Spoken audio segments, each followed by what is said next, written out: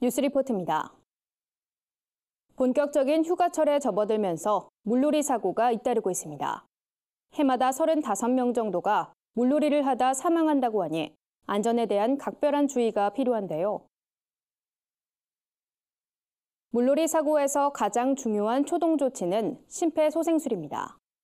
실제로 한 연구 결과에 따르면 안전요원이 배치된 수영장에서 심정지 환자의 생존율이 강이나 호수보다 4배나 높은 것으로 나타났습니다.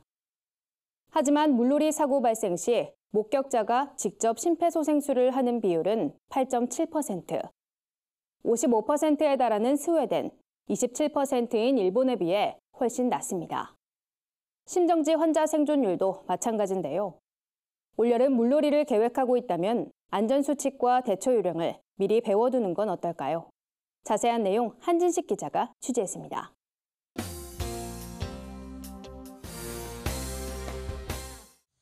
여름철 물놀이 중 빈번히 발생하는 심정지 사고. 물에 빠질 경우 과하게 물을 마시게 되는데 이로 인해 질식하게 되고 시간이 경과되면 심정지 상태로 이어집니다. 심정지 사고가 발생하면 어떻게 대응하느냐에 따라 환자의 생사를 가를 수 있습니다.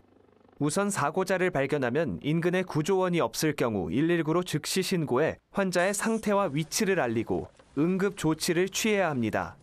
이때 심폐소생술을 익혀두면 대처하는 데 결정적인 도움이 됩니다. 지역 소방서에서는 여름철 피서객이 몰리는 해수욕장에 안전 체험 센터를 설치하고 시민들을 대상으로 심폐소생술과 같은 응급 처치 방법을 교육하고 있습니다. 전문가의 지도를 받아 제가 직접 체험해 보겠습니다. 환자가 의식이 없다고 확인되면 평평한 곳에 눕히고 상의를 벗긴 뒤 가슴 중앙을 압박합니다.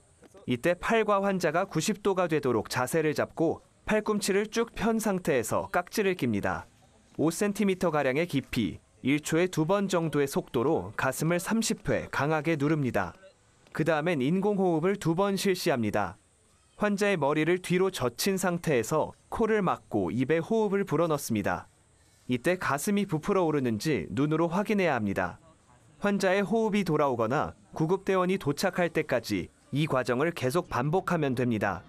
심정지가 일어난 뒤 골든타임인 4분 안에 실시하면 생존율을 3배 이상 높일 정도로 심폐소생술은 중요한 조치입니다. 하지만 일반 시민들은 평소에 방법을 숙지하고 있지 않으면 응급 상황에서 적용하긴 쉽지 않습니다. 직접 해보니까 힘도 많이 들어갔고 꽤나 복잡한 과정이 있었다는 걸 알게 되었어요. 이런 자리가 사실 많지가 않아서 여기 와서 할 거라고 생각을 못 했는데 배워서 저는 되게 만족스럽고 다른 사람들한테도 이런 기회가 있었으면 좋, 좋을 것 같아요. 무엇보다도 여름철 수련회와 캠프 같은 야외 활동이 많은 교회의 경우 지속적인 응급조치 교육이 필요해 보입니다. 간단한 응급처치 같은 경우는 이제 목사님이나 교회 관계자분들이 이제 주기적으로 교육을 받으셔가지고 이렇게 숙지를 잘 하셔야지 그런 응급 사항 발생 시 예방이 가능할 것 같습니다. 심폐소생술과 같은 응급조치 교육은 각 지역에 위치한 소방서에 신청하면 받을 수 있습니다. 구티비 뉴스 한진식입니다.